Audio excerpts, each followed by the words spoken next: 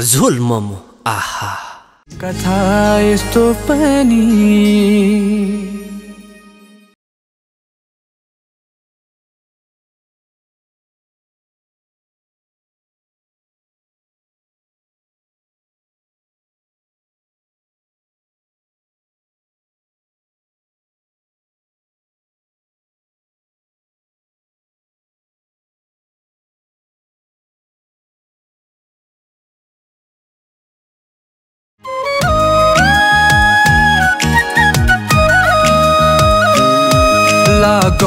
अब जागौँ अब लागौँ अब जागौँ अब नयाँ नेपाल बन्न स्वच्छ छवि भए कति असल मान्छे चुन्न।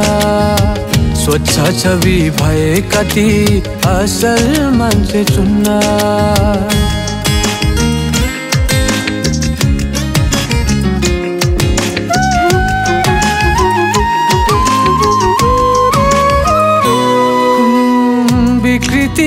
विकृतिले सीमा नग्यो हत्या हिंसा बढ्यो। हो विकृतिले सीमा नग्यो हत्या हिंसा बढ्यो। बलात्कारी भ्रष्टाचारी झन् झन् माथि चढ्यो। आऊ सबै मिली जरो किल्लो फालौ। शान्ति सद्भाव अमन चयन। उज्जवल दियो बालौ भावी पुस्ता खुसी होलान् आशिष देलान् अनि परिवर्तन गर्न ल्यायो। कथा यस्तो पनि कथा यस्तो पनि कथा यस्तो पनि कथा यस्तो पनि कथा यस्तो पनि।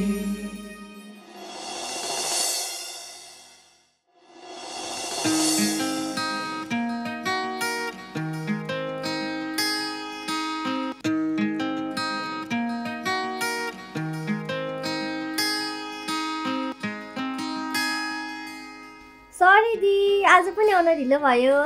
आज पनि ढिला भयो अरे। ढिला नभएको दिन चाहिँ कहिले छ भन त? अनि आउँदा आउँदै ढिलो भयो त के गर्नु? छोड यो टपिक नयाँ कुरा के छ सुनाऊ? के हुनु दी केही छैन। बरु हजुरको सुनाउनु। तिम्रो जस्तै हो। फोन गरेको ड्युटीमा छु भन्नुभयो। घरमा त कहिले टाइममा आउनुहुन्न? बेलुका पनि म सुतिसकेपछि आउनुहुन्छ। बिहान पनि म उठ्दाखेरि अफिस जान रेडी हुनुहुन्छ। ढिलै भए पनि यसो केही त हुन्छ नि।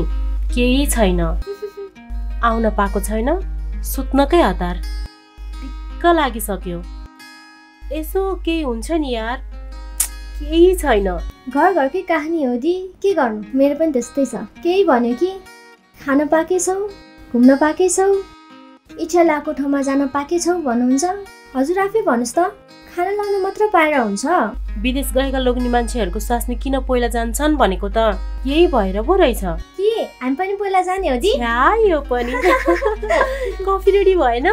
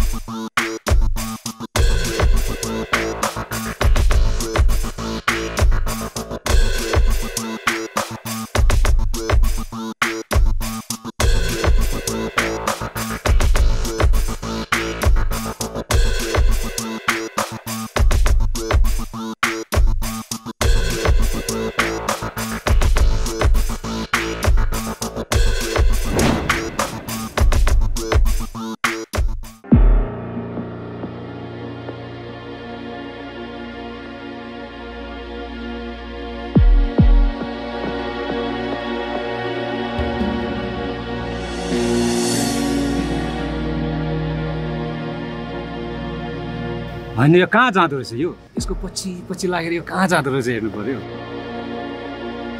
आज हाँसुकी जाओस्। लाग्छ आफ्नो बाटो।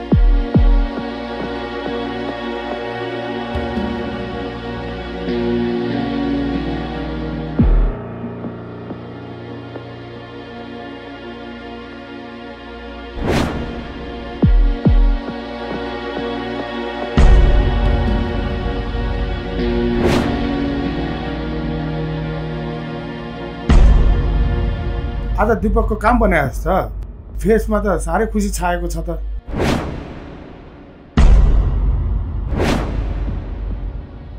स्याबास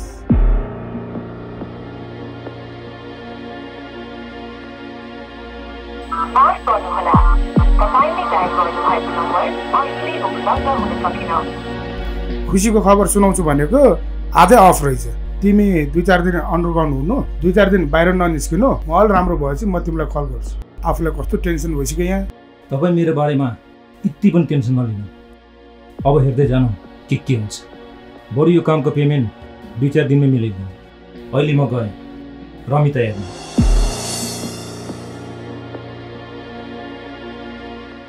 आगे आगे तपाईँको गोला पछि पछि मेसिन गन ए ओइ, बरर ओइ, होइन कता हो एक्लै लखर लखर अब साथी भए पो दुक्लो हिँड्नु साथी नभएपछि एक्लै हिँड्नु पर्यो नि होइन? हतार हतार हिँड्नु भएको छ त्यही भएर सोधेको। माथि डाँडामा मान्छे मारेर फालेको छ भन्ने हल्ला सुने। त्यही भएर डाँडातिर जानलाई अझै साँच्ची हो र? खोइ हल्ला त त्यस्तै सुन्छु। अब हो होइन माथि पुगेपछि थाहा हुन्छ। हे भगवान् कस्तो समय आयो है? खै कस्तो कस्तो? मान्छेले कुखुरा काट्न डराउँछन्। अहिले यहाँ मान्छेले मान्छे काटिरहेको छ विचार कसको छोरा होला? कसको कसको? माथि जाउँ न डाँडामा त्यहाँ पुगेपछि थाहा भइहाल्छ नि। कस्तो जमाना आयो। मान्छेले मान्छे काट्न थालेछ। ए अब के भन्नु अब? त्यही त यस्तै भनेको छ। है।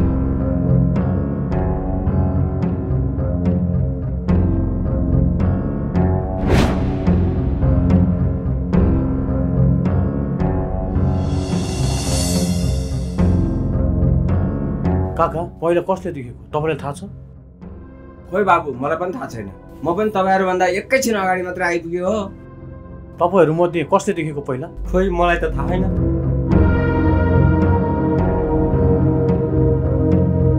अरू बेला जस्तो आज पनि बाटोमा छोडेर अफिस जाने होइन है? भन्दै छु नि मैले। मेरो कुरा बुझ न तिमी? तिमी घर त म अफिस एकचोटि पुगेर आउँछु।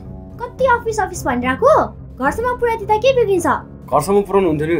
तर के गर्नु? अफिसबाट फोन आएकै छ फोन आइरहन्छ नि। फोन आयो भनेर मलाई बाटोमा छोडेर हिँड्ने त। तिमीले मैले भनेको कुरा किन नभने कि सधैँ तिमीलाई मैले बाटोमा छोडेर हिँडेछु? कुरा मैले नबुझेको कि तिमीले नबुझेको ह? ल फेरि फोन बजिसक्यो। बसिरहेको जस्तो खटारो। मलाई अरू कुरा केही थाहा छैन मलाई घर पुऱ्याइदिनु। कति के हो के फोन त गर्नु देऊ हेलो? कतिचोटि फोन गरिसके किन नउठाएको? बाइकमा थिएँ। सरी यार।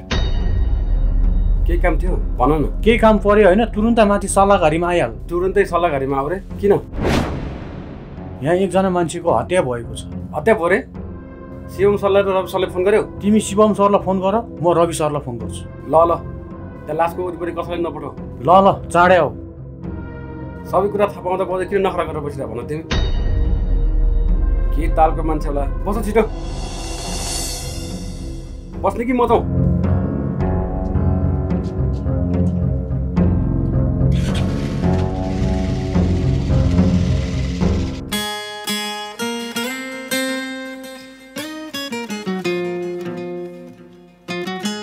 एक्सक्युज मी सर अरू केही लिनुहुन्छ हजुरले? अहिलेलाई पर्दैन ओके सर थ्याङ्क यू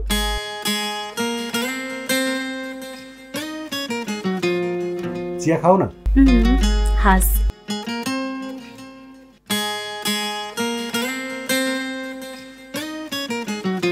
आज तिमीलाई अरू बेला भन्दा धेरै खुसी देखेँ नि। हजुर आज म एकदम खुसी छु। खुसी हुनुको कारण बुझ्न सक्छु? बिहे गरेको यत्रो समयपछि हजुरसँग बस्न पाएकी छु। खुसी त हुनै पर्यो नि। मलाई पनि रहर छ। तिमीसँग घुम्ने मिठो मिठो खाने एकान्तमा बसेर गफ गर्ने तर के गर्ने? अफिसको कामले समय नै मिल्दैन। समय त आफूले पो मिलाउने हो नि। त्यो अफिसको काम त कहिले पनि सकिँदैन। झन् बल्ल बल्ल बस्न पाएँ भनेर कति खुसी भएको? फेरि तपाईँको फोन आयो। एकछिन तपाईँको फोन नउठाउनु न प्लिज।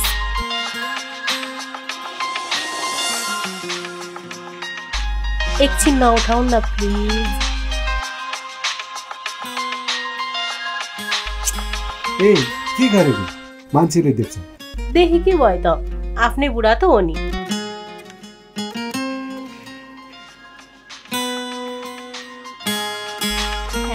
फेरि फोन आयो। कति डिस्टर्ब गरेको यो फोनले? एकछिन नउठाउनु न। होइन उठाउनु पर्छ। हेलो? सर कहाँ हो तपाईँ? म एकछिन बाहिर छु। भन्नुहोस् न। सल्लाहगारीमा कसको हत्या भयो भनेर विरोधले फोन गरिरहेको थियो सर? हो र। तपाईँ जाँदा गर्नुहोस् म आइहाल्छु। म त पुग्न सर। बरु तपाईँ छिटै आउनुहोस् के भयो? हेर न सल्लाहगारीमा खोइ कसको हत्या भएछ म जानु पर्ने के गरौँ? जानु न त हजुर। हामी कुनै दिन समय मिलाएर बसौँला नि। नरिसा भाइ रिसाउँदिन। किन रिसाउनु नि? होइन कहाँ गएछ यो? मोबाइल स्विच अफ गरेर।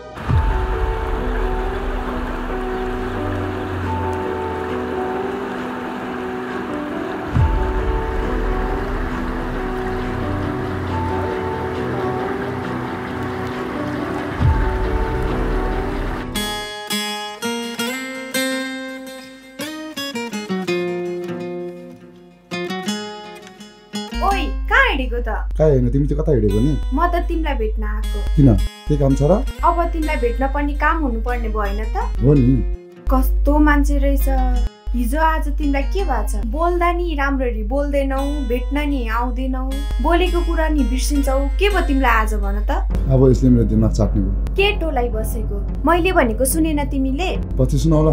अहिले म हतारमा छु। म गएँ कस्तो रहेछ? मुभी हेर्न जाने भने होइन। पैसा नै सही छ टिकट ट्यास कस्तो मान्छे रहेछ के? तपाईँ अरू त सर्नुहोस् त।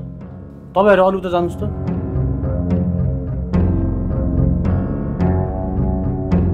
केही थाहा पाउनुभयो खोइ को रहेछ कुन्नी? मैले नि चिनिनँ। हे भगवान् कुन चाहिँ पापीले मारेछ? बिचरा अशोकलाई। तपाईँहरू कति नजिक नजिक बस्नु भयो अलिक पर पर हट्नु त। तपाईँहरू पनि हट्नु त।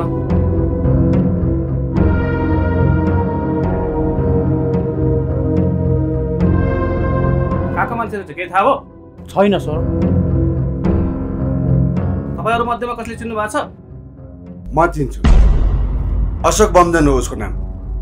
माकलबारीमा बस्छ अनि भगवथानमा टायर पसल्छ। उसको परिवारमा को को हुनुहुन्छ? कसैलाई चिन्दिनँ। उसको श्रीमती चाहिँ विदेशमा छ भन्ने सुनेको थिएँ। सर उहाँले चिन्ने मान्छे हुनुहुँदो रहेछ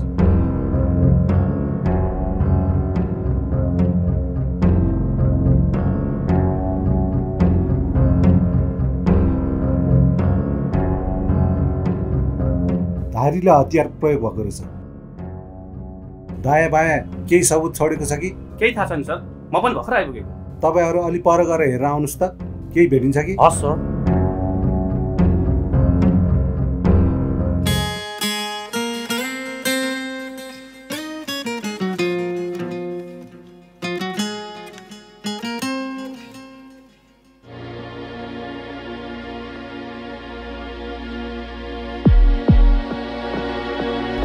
आ देख्दैनस्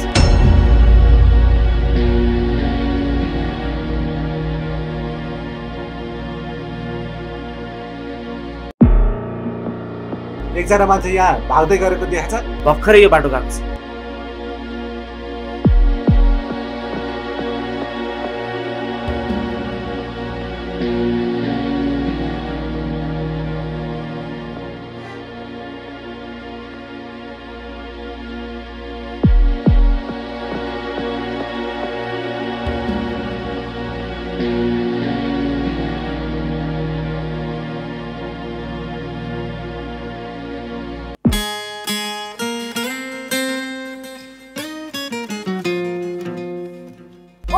Aboy.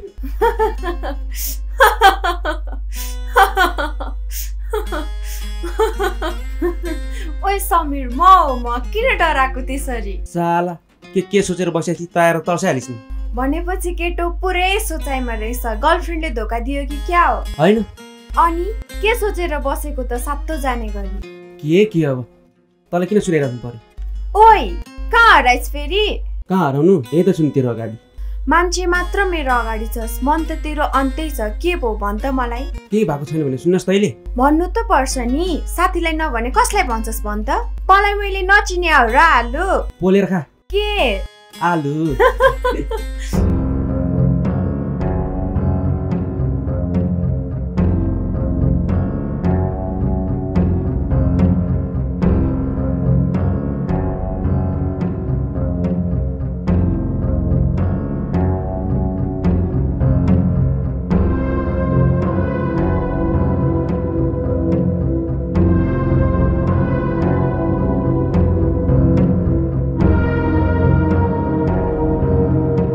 त्यही कुलङ्गारको काम जस्तो छ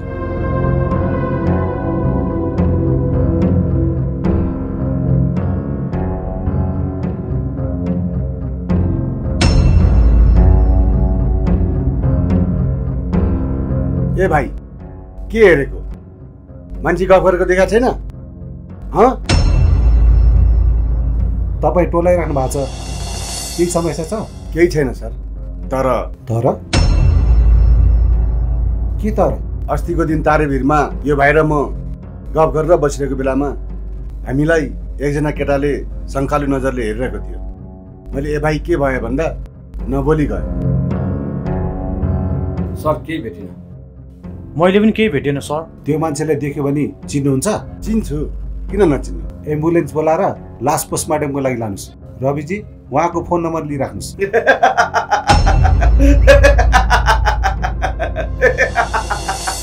आफै गल्छन् यहाँ, अरूलाई गलाउनेहरू। रुँदैन कहिले लास, रुन्छन् त यी झलाउनेहरू। जय कान्ति भएर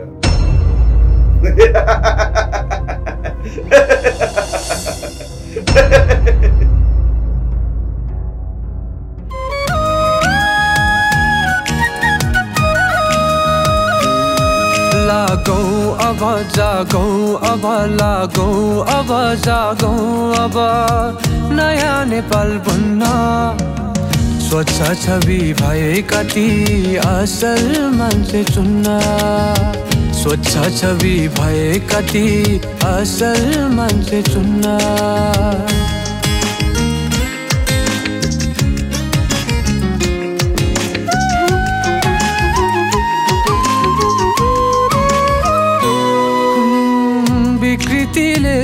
नग्यो हत्या हिंसा बढ्यो। हो विकृतिले सीमा नग्यो हत्या हिंसा बढ्यो।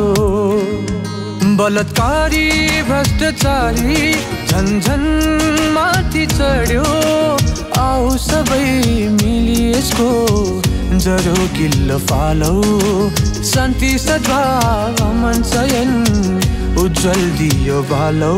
भावी पुस्ता खुसी होलान् आशिष देलान् अनि परिवर्तन गर्न ल्यायो। कथा यस्तो पनि कथा यस्तो पनि कथा यस्तो पनि कथा यस्तो पनि। कथा यस्तो पनि